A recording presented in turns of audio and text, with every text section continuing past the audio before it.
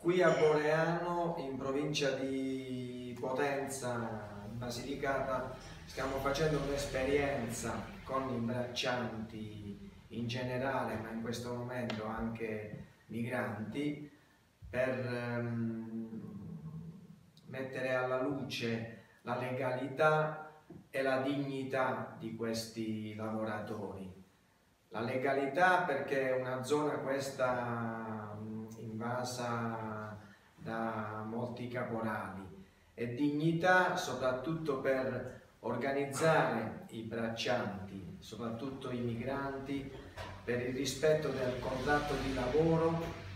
e soprattutto per la loro residenza, perché mh, le condizioni disumane del ghetto di Boreano non devono più esistere bisogna portare questi lavoratori in un posto dove eh, possono eh, condurre una vita eh, dignitosa. Questa battaglia che è iniziata già l'anno scorso dovrebbe trovare uno sbocco prima dell'inizio della stagione che si sta approssimando, visto che eh, nell'area di Boreano il prodotto che maggiormente si raccoglie è il pomodoro, poi si passa all'uva e alle olive,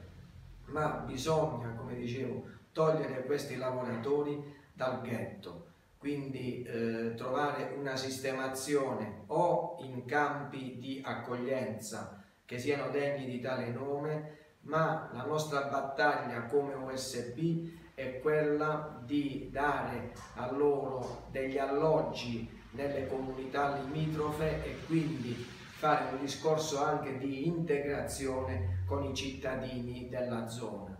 Noi eh, non facciamo eh, opera di carità, questa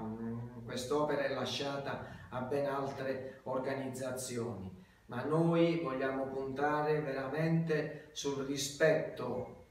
dei lavoratori, sul rispetto della paga, sul rispetto dei contratti e soprattutto eh, sulla, mm,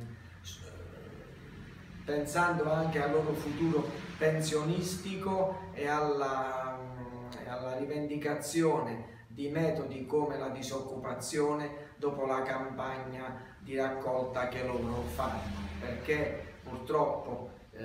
in questa zona eh, i datori di lavoro non sono rispettosi dei contratti e, e le giornate che risultano versate presso l'Inps sono molto inferiori